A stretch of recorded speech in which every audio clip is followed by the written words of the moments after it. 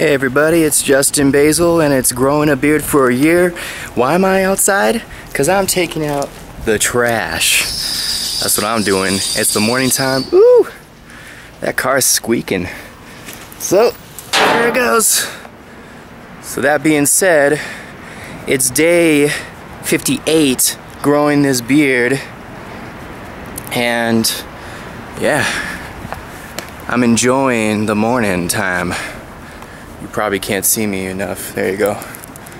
But that being said, stay tuned for day 59 on Growing a Beard for a Year. I'm Justin Basl. Keep it hairy, but not so scary.